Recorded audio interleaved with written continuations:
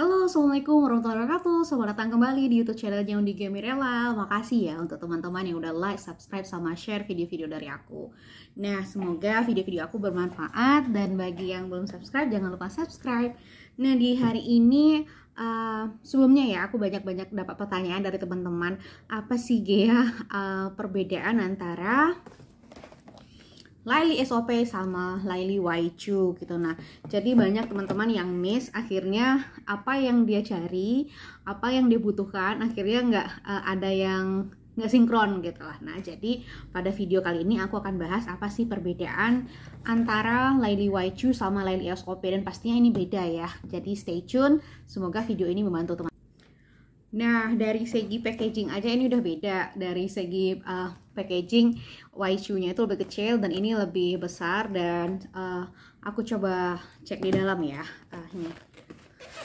Kalau yang SOP itu dia bentuknya sachetan, jadi teman-teman lebih gampang bawanya ke mana-mana.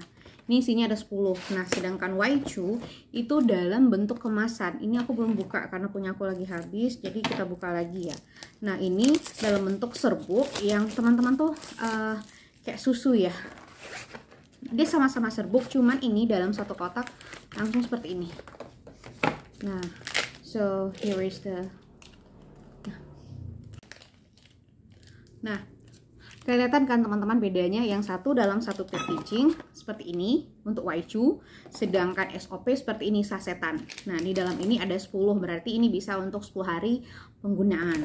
Jadi teman-teman mau ke mana-mana aja dibawa bisa. Ah kalau dari segi manfaat dua-duanya ini berbeda fungsi. Jadi teman-teman jangan lah aku pengen SOP aja deh aku pengen Waichu aja deh dengan manfaat yang sama tuh enggak. Karena pastinya uh, eh, PT Karya Lalimen Dunia ketika memproduksi sebuah produk pasti memiliki tujuan dan uh, fungsi yang berbeda. Nah Waichu ini bahan utamanya itu adalah uh, kolagen ikan. Nah, jadi fungsi utamanya itu lebih kepada dia ada juga glutathione sih. Uh, dan ini fungsi utamanya lebih kepada kecantikan. Jadi kalau teman-teman pengen memudarkan fleknya, bekas jerawatnya, maka teman-teman konsumsinya Laili Waichu. Sedangkan Laili SOP sesuai dengan namanya Salmon Ovari Peptide itu. Jadi ini lebih kepada suplemen yang membantu teman-teman untuk proses penyembuhan kepada kesehatan gitu. Atau teman-teman yang mau menjaga kesehatannya ya karena tahu sendiri lah kan kalau sekarang itu uh, kondisi nggak jelas gitu terus kesehatan orang sembuh sakit sembuh sakit habis itu kumat lagi gitu. Maka ini sang uh, maka ini yang kita rekomendasikan sama teman-teman bukan waicu ya gitu. Jadi uh, jelas perbedaannya teman-teman gitu dari segi komposisinya totally different.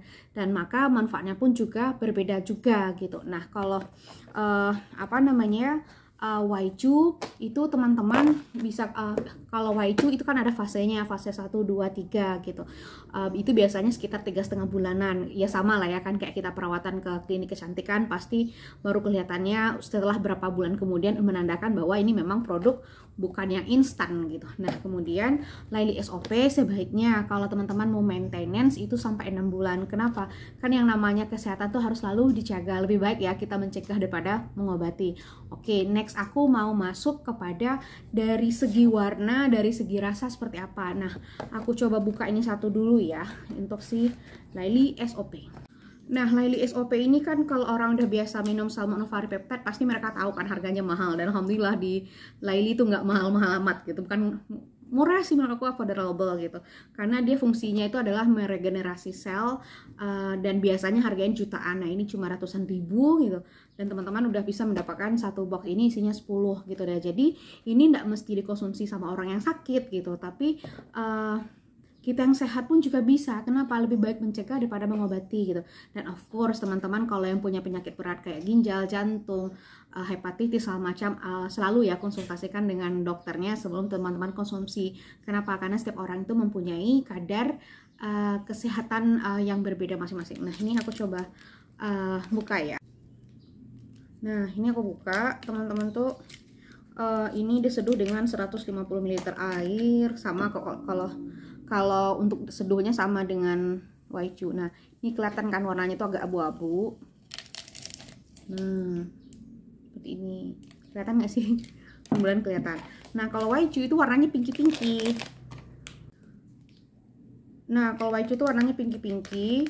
Dan ini warnanya ter, uh, terkadang berbeda ya teman-teman. Tidak mesti pinknya tuh sama karena kan tergantung uh, apa ya tergantung dari sumber ikan yang kolagen yang digunakan. Jadi selama teman-teman beli pada mitra resmi insya Allah itu asli. Nah ini di konsumsinya pakai sendok aja. Satu sendok makan tapi nggak terlalu tinggi ya. Nih like this. Nah warnanya itu agak ngeping kelihatan nggak sih? Nih. Nah eh eh. Nah warnanya ngeping aku coba siram dengan air. Nanti teman-teman akan melihat sini perbedaannya nah ini kalau untuk Laili Waichu itu dia nggak berubah warna teman-teman. Jadi dari awal teman-teman tuh warnanya akan tetap ngeping mau dibiarin berapa jam pun dia akan tetap ngeping nah kalau aku sendiri lebih suka konsumsinya dengan air air dingin ya atau air es. Tapi jangan sampai dengan air mendidih. Kenapa? Itu akan mengubah uh, fungsinya. Nah ini kelihatan pinky-pinkynya nah kalau yang untuk si SOP itu warnanya kalau teman-teman biarin itu lama-lama dia jadi putih bening kayak gini loh. Nah ini Bismillahirrahmanirrahim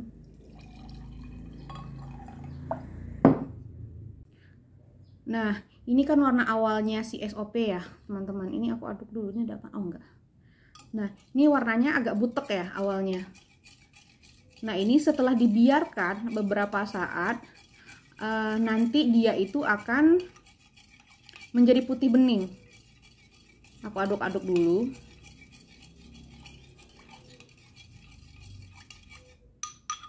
Ini ada tukang sayur lewat. Maklum lah ya, aku bikin videonya pagi.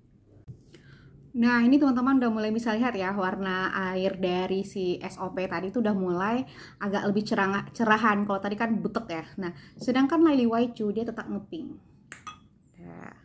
Jelas ya teman-teman perbedaan dari segi warna. Nah kalau untuk pengalaman dari aku ya Kalau aku ketika konsumsi Waichu itu rasanya sama aja. Sedangkan ketika aku konsumsi Laili SOP itu di awal aku ngerasa uh, karena memang kondisi tubuh aku waktu itu kurang fit gitu. Jadi ketika kondisi tubuh aku kurang fit itu nah kalau ketika aku konsumsi Laili SOP di awal-awal tuh pas di akhir uh, nelan itu rasa kayak sedikit obat uh, ternyata itu karena tergantung dari indera pengecap aku karena kondisi aku nggak fit. Tapi akhir-akhirnya uh, itu biasa aja sih rasanya enak. Jadi teman-teman jangan khawatir kok rasanya beda ya. Enggak karena rasa beda itu tergantung kok dengan kondisi kesehatannya teman-teman Nah, untuk si lali SOP, ini teman-teman konsumsinya 1 atau 2 jam sebelum makan. Dan untuk ini bebas sih, mau sebelum atau setelah makan. Kalau teman-teman punya riwayat mah sih sebaiknya setelah makan menggunakan air hangat ya. Karena aku sendiri juga punya riwayat mah, aku konsumsinya dengan air yang hangat. Tapi sometimes aku minum dengan air dingin sih nggak apa-apa sih. Dan pastikan teman-teman juga memperhatikan ya label uh, yang alergen di sini gitu. Dan pastinya kedua produk ini bukan obat tapi suplemen yang membantu teman-teman untuk uh, uh, kecantikannya atau untuk kesehatannya. Dan sebelum beli teman-teman uh, pastikan belinya di mitra resmi dan konsultasi dulu gitu. Kenapa gitu? Kadang kan orang pengen cantik aja, pengen sehat aja terus asal beli aja ternyata itu tidak sesuai dengan dia. Makanya teman-teman harus tahu nih apa yang dikonsumsi, apa yang teman-teman pakai itu teman-teman mempunyai pengetahuan tentang itu. So here it is the different. Nah ini makin terang ya warnanya. Nanti kalau dibiarin sekitar berapa menit lagi, dia benar-benar bening kayak air putih teman-teman gitu. Nah seperti itulah. Uh, ini bisa dikonsumsi untuk satu keluarga ya. Jadi kita set-set bareng karena uh, ya seperti yang teman-teman tahu pandemi gitu. Nah, itu video dari video dari aku tentang apa sih perbedaan antara Laili Waichu dengan Laili SOP. Semoga bantu teman-teman yang udah merasakan manfaat keduanya boleh share ya pengalamannya gitu. Atau yang uh, dia fokusnya ke kesehatan, apa aja sih teman-teman dapatkan. Semoga video ini membantu. Sampai jumpa pada video selanjutnya. Assalamualaikum warahmatullahi wabarakatuh.